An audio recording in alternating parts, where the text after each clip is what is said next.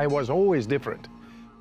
I was uh, born in a cold hole, almost suffocated.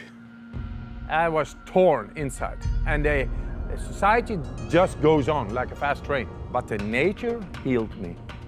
And nature taught me to shut up, get into the body, and to learn to deal with that with the mind. And that power made me able to do stuff 26 world records, like swimming under the ice, climbing Mount Everest to the death zone, all that through the power of the brain. The mind, not in control, is your worst enemy. In control, your greatest ally.